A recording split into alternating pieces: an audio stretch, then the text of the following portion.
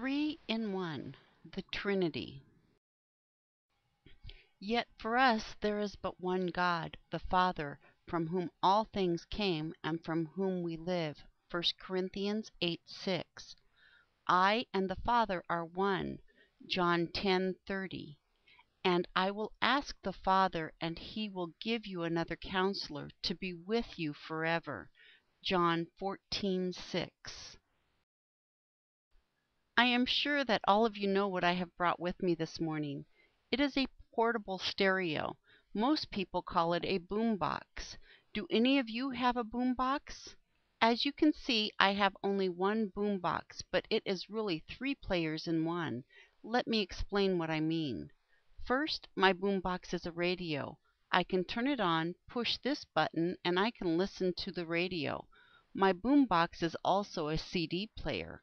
I can put in a CD, push this button, and I can listen to the CD. Finally, my boombox is a tape player. I can put a tape in this slot, push the play button, and listen to the tape. I only have one boombox, but there is three boomboxes in one. How many gods are there? That's right, there's only one God.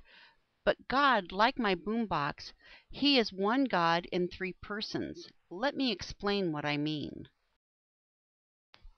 First, there is God the Father. The Bible says there is but one God, the Father from whom all things come.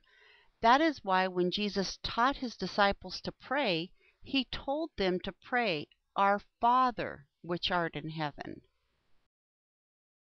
Second, God came down to earth in human form to die on the cross for our sins. Jesus is God in human form. He said so himself when he said, The Father and I are one. Finally, Jesus told his disciples that he was going to return to heaven. He told them that the Father would send them a comforter and a teacher to be with them forever. That is why God sent us the Holy Spirit. The Holy Spirit is God within us today.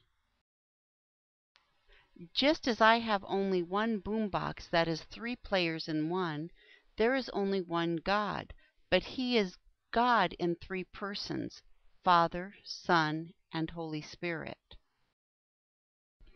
Dear God, our Heavenly Father, our Savior, our Teacher, we praise you and worship you today. Amen.